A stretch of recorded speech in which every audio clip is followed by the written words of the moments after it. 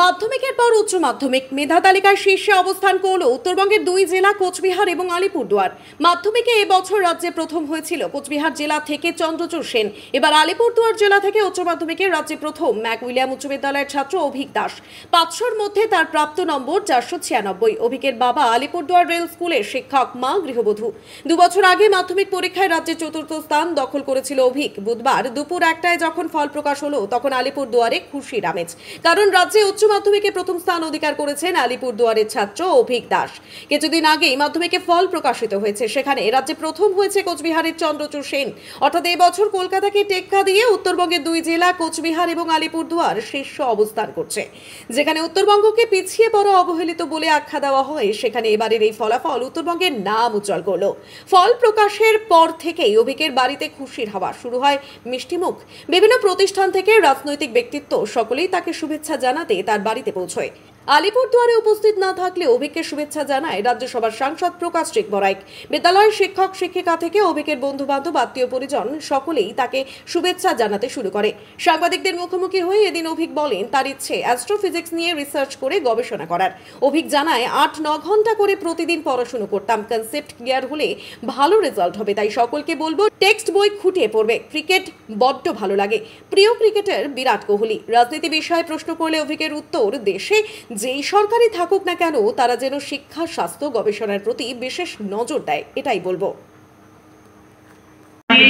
আমার কাটতো পড়াশোনা নিয়েই কাটতো। তো এখন একদম যদি আমি সময় হিসাব ধরি তাহলে মিনিমাম আট নয় ঘণ্টা আট দশ ঘণ্টা তো পড়াশোনা হয়ে যাবে। মানে একদম প্রতিদিনই আট দশ। প্রায় প্রতিদিনই। আচ্ছা কতজন প্রাইভেট টিউশন টিউটর ছিল তোমার? আমার ছটা সাবজেক্ট ছিল ছটা সাবজেক্টে একজন করে প্রাইভেট টিউটর টিউটর ছিল। কি করবে ভবিষ্যতে? কি আমার ভবিষ্যতে ইচ্ছে অ্যাস্ট্রোফিজিক্স নিয়ে রিসার্চ করে গবেষণা করার। কোথায় পড়বে? এখন কি টার্গেট আছে? আমার টার্গেট হচ্ছে আইআইসি ব্যাঙ্গালোর ভারতের যে নাম্বার ওয়ান গবেষণা প্রতিষ্ঠান সেখানে অ্যাডমিশন হওয়া এছাড়া আমার দুই নম্বর টার্গেট হচ্ছে আইজার কলকাতা। সবচেয়ে প্রিয় সাবজেক্ট কোনটা তোমার? প্রিয় সাবজেক্ট ফিজিক্স এবং ম্যাথ কে- সহযোগিতা করতো এই দুটো সাবজেক্টে এই দুটো সাবজেক্টে আমার টিচাররা সহযোগিতা করতেন। এছাড়া আমি ইউটিউবে বিভিন্ন টিউটোরিয়ালগুলি দেখতাম। সেগুলি আমাকে সহযোগিতা করেছে। পড়াশোনা ছাড়া আর অন্য কি করতে ভালো লাগে? পড়াশোনা ছাড়া গল্পের বই পড়তে ক্রিকেট ম্যাচ দেখতে ভালো লাগে। যদিও এখন তার বেশি খুব একটা সময় হয় না তবে যখনই পড়াশোনার ফাঁকে সময় পাই তখন আমি গল্পের বই পড়া বা নিউজ পেপার পড়া একটু ক্রিকেট ম্যাচ দেখা এগুলি আমি করতে পছন্দ কি বলবে ভবিষ্যতে তোমার মতো যারা সফল হতে চায় তাদের কি করা উচিত? কীভাবে পড়াশোনা করা উচিত?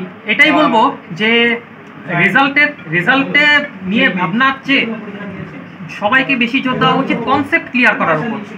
একজন স্টুডেন্টের যদি বিশেষত সায়েন্সের ক্ষেত্রে যদি সবগুলি কনসেপ্ট একদম ক্রিস্টাল ক্লিয়ার হয় তাহলে তার রেজাল্ট অটোমেটিক ভালো হবে। তো এটাই বলব যে টেক্সট বইয়ের প্রত্যেকটা লাইন ফুটিয়ে পড়ো বুঝে বুঝে পড়ো আহ, আর মক টেস্ট পেপার সময় ধরে সলভ করো তাহলে অটোমেটিক সাফল্য এসে যাবে। অভিনেতা কি? হ্যাঁ? প্রিয় অভিনেতা? ও- অভি- ও- অভিনয় বিষয়ে আমি বিশেষ কিছু আচ্ছা প্রিয় আমার প্রিয় ক্রিকেটার বিরাট কোহলি। আচ্ছা। প্রিয় লেখক স্যার আর্থার কনান ডয়েল রাজনীতি সম্পর্কে কি ধারণা তোমার? রাজনীতি সম্পর্কে প্রত্যক্ষ পার্টি পলিটিক্স সম্বন্ধে আমি বিশেষ ইন্টারেস্টেড নই। তবে এটাই এটাই বুঝি যে যে সরকারি আমাদের দেশে থাকুক তারা যাতে দেশের শিক্ষা এবং গবেষণার প্রতি বিশেষ গুরুত্ব দেয় এটাই চাইব। অভিক রাজ্যে চতুর্থ হয়েছিলেন মাধ্যমিকে। হ্যাঁ। এবারে প্রথম হয়ে যাবে ভাবতে পেরেছিলে কখনো?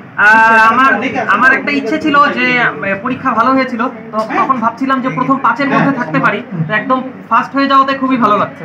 তাও আবার আলিপুরদুয়ার জেলা শহরের মাধ্যমিক মানে উচ্চ মাধ্যমিক বিদ্যালয়ে যে ম্যাকুলিয়াম স্কুল সেখান থেকে। কি বলবে? মাস্টারমশাইদের গুরুত্ব কতটা কি বলবে? মাস্টার মশাইরাই আহ, এই সাফল্যের চাবিকাঠি এবং তাদের সাহায্য ছাড়া এটা তো কোনোদিন সম্ভব হতো না। আমার আমার যখনই কোনো সমস্যা হয়েছে যখনই কনসেপ্ট নিয়ে কোনো সমস্যা হয়েছে তখন তারা গেলে সেটা সুন্দর করে বুঝিয়ে দিয়েছেন এবং তাদের কারণেই তাদের আশীর্বাদে তাদের সক্রিয় সাহায্যের কারণেই আজ এই রেজাল্ট সম্ভব হয়েছে। আচ্ছা অভিজ্ঞ থেকে মানে এই যে রেজাল্ট হলো ভালো রেজাল্ট হলো রাজ্যে প্রথম হলো কি বলবে? খুবই আনন্দ হচ্ছে এটাই বলব এখন। কত ঘণ্টা করে পড়াশোনা করতে বা কীভাবে এগিয়েছো? মোটামুটি দিনে আট দশ ঘণ্টা মিনিমাম পড়াশোনা করতাম।